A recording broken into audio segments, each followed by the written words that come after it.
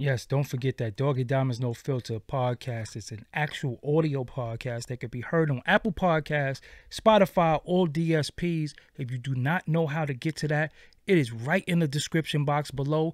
You can find the Apple Podcast is under iTunes. You can find the Spotify. You can find all of that right below. Also, for only $100, I promote whatever you need on my social medias and my website. That's my Twitter, Facebook, Insta Stories, YouTube community, and my website, which you will be featured on www.doggiediamondstv.com. Hit me up on Instagram at Doggie Diamonds for your promo. Serious inquiries only. Must be cash app ready. Let's get to it.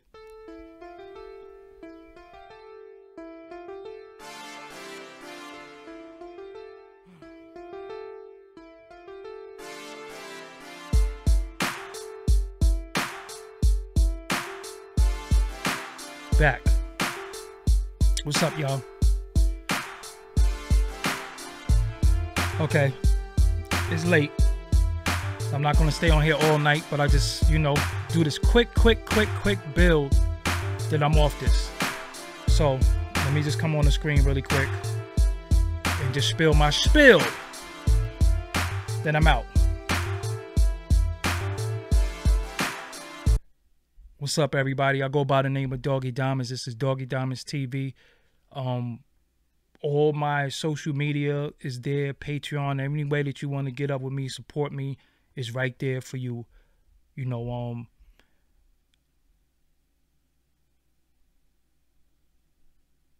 it wasn't brought to my attention, but it came to my attention um via a Tasha K interview and it was a Tasha K interview with Young Pharaoh. And I like um some of Tasha K interviews. And I was wondering why he was on there. Cause her, her interviews normally like celebrity driven or stuff like that. So I was wondering why he was on there. And when I watched the interview, um I was like, hold on, what the hell is going on? Um Young Pharaoh is somebody that I've known for a long time. Personally, um, I once had his telephone number. We would shoot texts back and forth. I can't say we spoke a lot. We did a classic interview right on his channel. I asked him to do an interview. He did it immediately. A classic interview on here. They didn't monetize it. They actually age restricted the interview, but it's a classic interview. This is back in Google Hangout days. So we did an interview.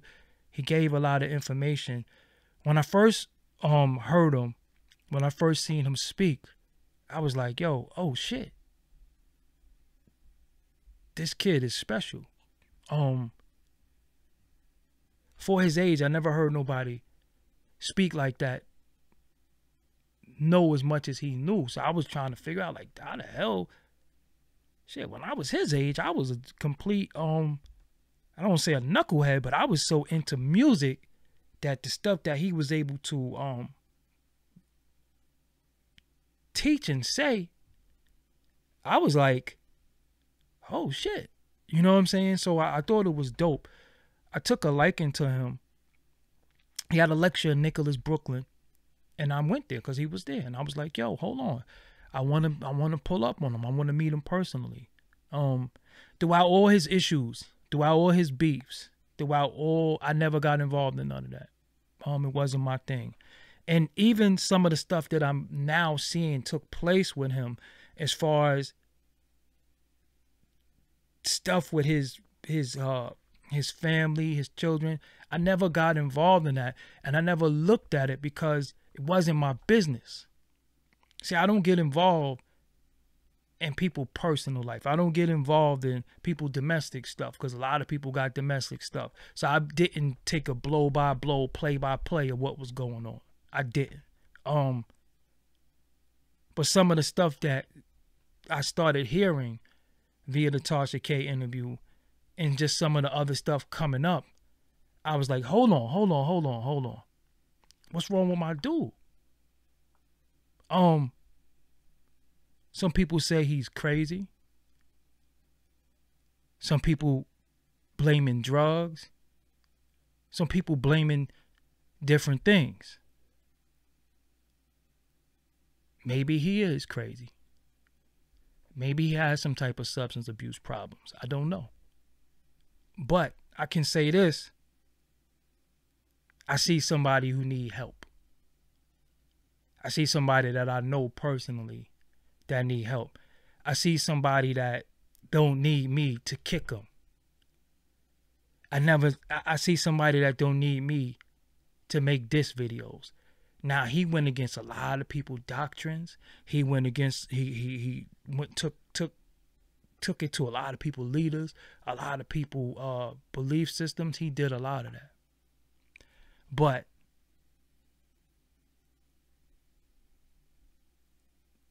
something ain't right. Something ain't right. And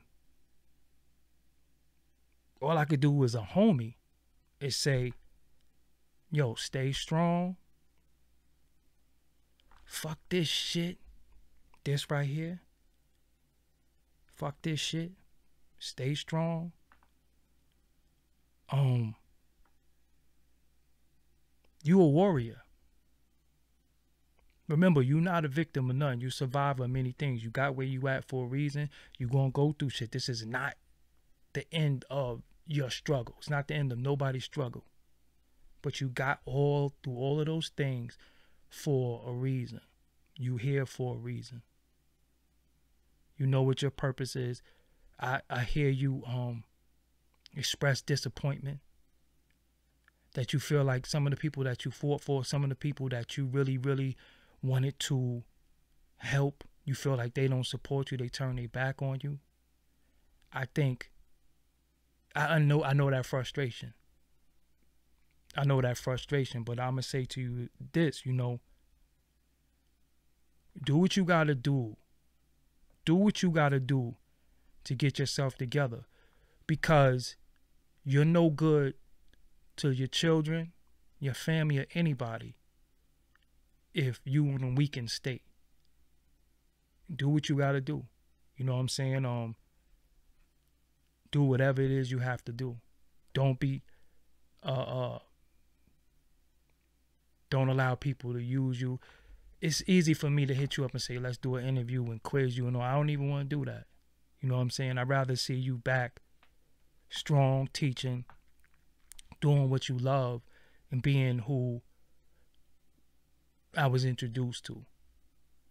Um if you are going through something up here, mental illness is real. Mental illness is real in our community. You done been locked up. you done, you know, you you had a rough life as we all did. But, but, you built for this shit. You was chosen. You ain't fall out that you didn't you didn't just come out of nowhere. You was chosen. You was chosen. You gonna be alright, man. You gonna be alright. Just take the time that you need to get yourself together. It has nothing to do with mental illness, it has nothing to do with substance abuse. Just get yourself together where you say, yo, you know what? I'm a fall back. I'm a fall back. Cause it's easy for me to jump on a bandwagon and say, "Oh, this, this nigga crazy. This nigga did that." Nah.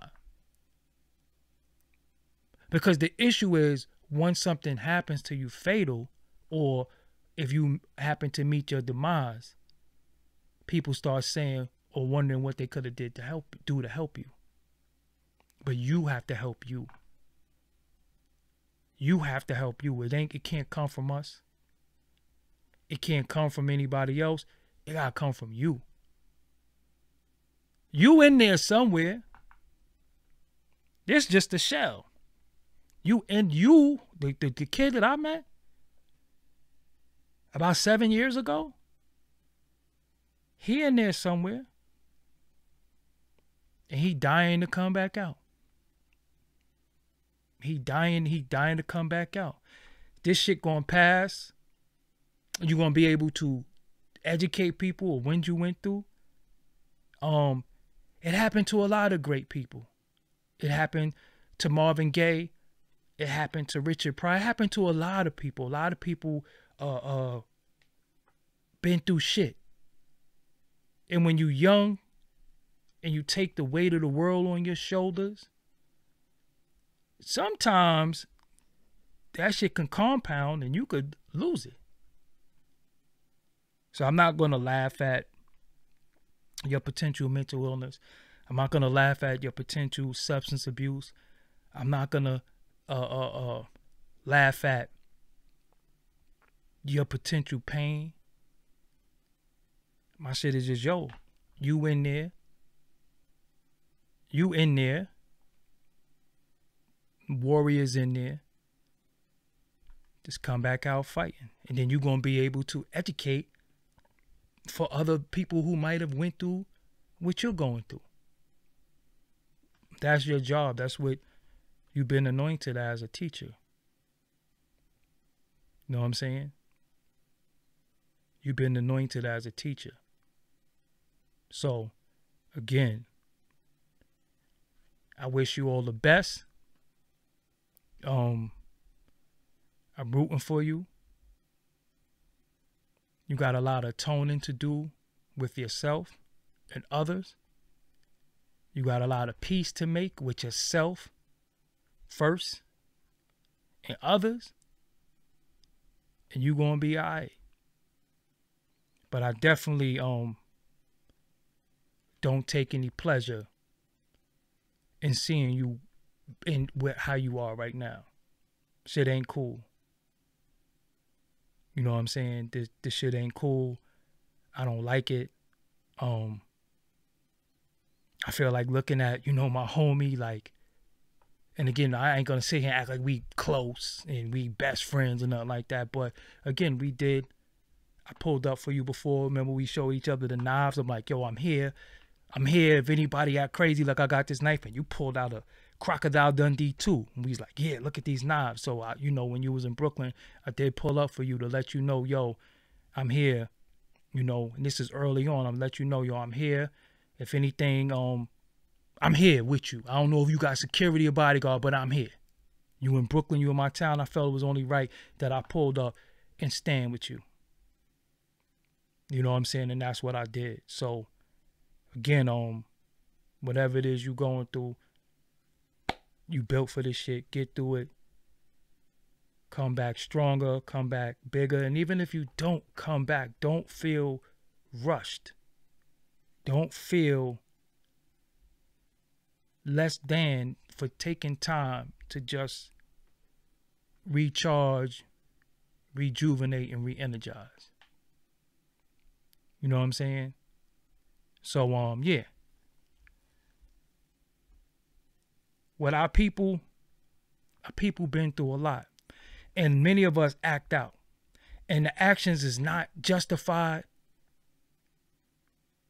But when people are mentally ill or going through mental illness or whatever the case may be they do shit that's not right. Seriously. They do shit that's not right. So what is the remedy for that What's the solution? The solution is for them to get right. That's the solution. So that's all we can hope for. Yo, get right. Just get just get back. Make make peace with yourself. Make peace with yourself first. And once you can make peace with yourself and get back to, you know, uh, a good space, then people might come to you and say, yo, bro, you hurt me like this. You did this to me. You did this to me. And you might not even realize you did some of the shit you did because I could see somebody just broken right now. You know what I'm saying? I could, I could see that shit. So, again, I'm out of here, but I'm telling you, get back to you. Um, just get yourself together. You got them babies. You got people who love you, even though you might even wrong them, you know. But I think it's people, even you wronging them, they know who you are when you in your right state. You know what I'm saying? So I'm just not gonna be one of the people to report how fucked up you are and yo he I ain't gonna do that. You know what I'm saying? I ain't gonna do that to you. Cause you always showed me love. You know what I'm saying? Um if you need an ear, if you want a bill, reach out. You know what I'm saying? Um, I don't I don't want to get in your personal business. I don't want to know none of your personal business. The shit that I seen, I wasn't too happy with. I don't have no judgment on it, but I'm just saying you gotta get yo that real dude. He in there. He in there. You just gotta fight, and it's gonna come. It's gonna come back. You know what I'm saying? You ain't got no choice anyway, man. You ain't got no choice but to come back. Straight up. Don't piss me off. You ain't got no choice but to come back bigger, better, stronger, and faster. That's it. You know what I'm saying? Do what you gotta do, bro. Take your time. There's no pressure. Stop trying to take the weight. Like I'm telling you, pressure bust pipes. And I know that you processing all this information, you taking in all this information, you're trying to put this information here, you're trying to do this here, you're trying to do it, you're trying to do that. Then an explosion goes in on your head that nobody sees. An explosion goes on in your head that nobody's seen. You know how I know this? You know how I know this oh so well? Because it happened to me. It's just that I knew how to hide it. I knew how to hide it, but I would go in a room and break down. But I know how to put on a, a happy face in front of people until I couldn't hide it no more. There was no internet then. I wasn't in front of the public then. Nobody knew how to deal with me. Nobody knew how to uh, uh, um nobody knew how to to help me because I was the strong one. How do you know how do you help the strongest one? They didn't know what to do. So I had to figure it out. It took some time. But I'm here to speak about it. I'm here to tell you, yo, I've been sad as hell. I've been depressed as a motherfucker. I done been through all types of shit in my life. Young young dude from the hood who dealt with a lot of trauma, a lot of shit. Sometimes, you know what I'm saying? It happens. It happens to the best of us. But look at me. I bounced back bigger, stronger, faster. But I ain't gonna front. I did seek professional help. I did go sit down and talk to somebody. I couldn't black power my way out of certain shit. I went and spoke to a a, a black woman that was a um psychologist and she gave me different coping mechanisms and different things to deal with what I was going through. You know what I'm saying? So again, you good. You know what I'm saying? You're gonna be all right. You ain't got no choice. You know what I'm saying? You ain't got no choice. But you're gonna be good, man. You know what I'm saying? You you gonna be good, but you know, a lot of us is pulling for you. The people who's not pulling for you, that don't matter. Somebody said, but you're not on dogs, you're not on drugs, doggy. Yeah, but I was alcoholic. Different drug. You know what I'm saying? So it's different. It's layers. It's layers. You know what I'm saying? It's layers to it. So we want our people